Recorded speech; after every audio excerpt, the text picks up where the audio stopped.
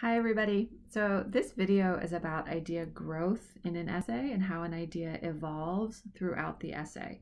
My advice is to think of your essay as kind of like a building a snowman.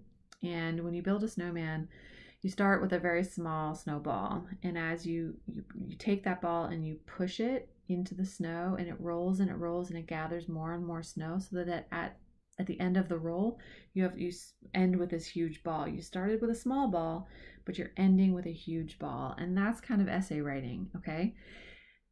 And I know this is a challenging concept, particularly because when you do a list thesis statement, you present the list, you know, a hero is strong and courageous.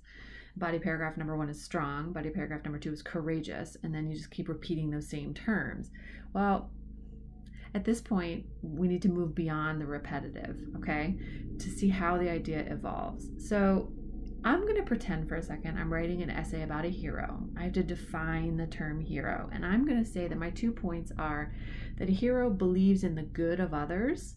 That's paragraph number one. And paragraph number two is that he or he or she or they believe in the opinion of others value the opinions of others.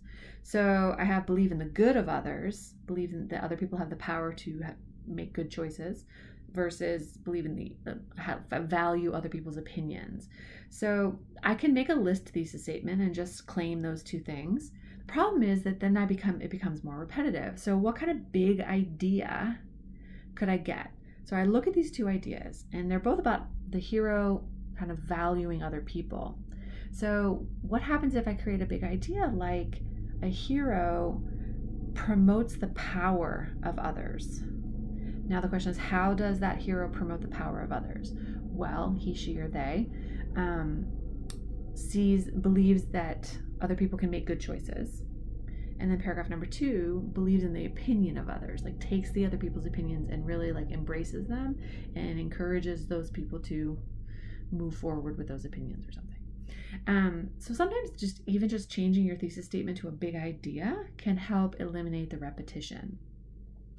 Or you can still have a list thesis statement where you list paragraph number one and then paragraph number two in the thesis statement itself.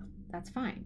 But then in the body paragraph, there needs to be an evolution of the idea. For example, if my body paragraph is that a hero believes that other people can make good choices, you know, encourages other people to make good choices, well, in the conversation of my leader, let's say I use Martin Luther King, right? Martin Luther King sort of actively believes that other people can make the right choice, right? And I would use like letter from a Birmingham jail as my evidence and sort of how that um, that letter really shows that he believes in others and that they that other people can make the right choice.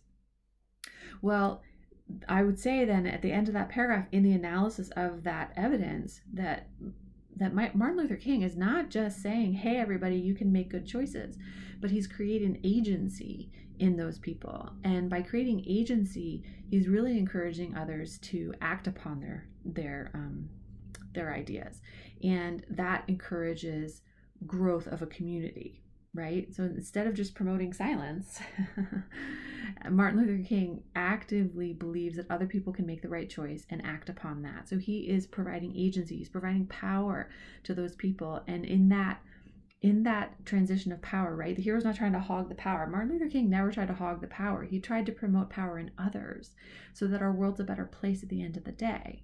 So whatever your paragraph idea starts at, it needs to start as a snowball but then grow into the bottom of a snowman. Okay, how does the idea move? Okay, you're starting with, you know, a hero believes that other people can make the right choice. And I'm going to talk about Martin Luther King and how he believed in others and believed that they had the power to make the right choices.